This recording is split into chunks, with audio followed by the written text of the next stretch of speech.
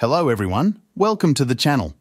In this video, I'm going to show you how to reduce the volume of one track in Audacity. Let's get started. First, let's say we want to reduce the volume of any track in a stereo recording. There are two main ways to do this in Audacity.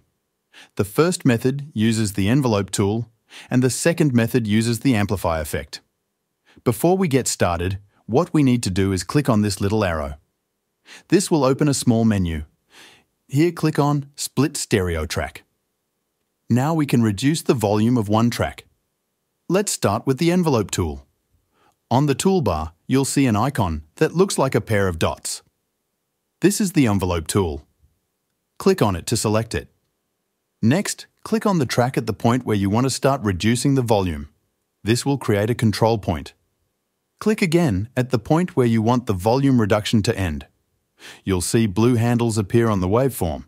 Now, click and drag the handles down to reduce the volume in that section. And that is it. Let's play back the audio to hear the changes.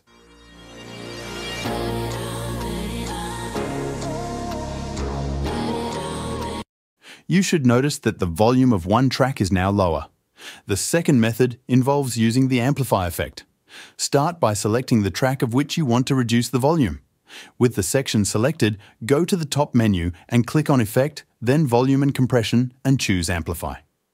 In the Amplify dialog box, you'll see a field labelled Amplification dB. To reduce the volume, enter a negative value. For example, you might enter 5 to reduce the volume by 5 decibels. Click OK to apply the effect.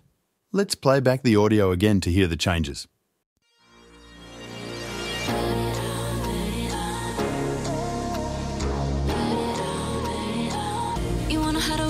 You should notice that the volume in the selected section is now lower. So there you have it, two different ways to reduce the volume of a track in Audacity, using the envelope tool and using the amplify effect. Thanks for watching, and I hope this tutorial was helpful.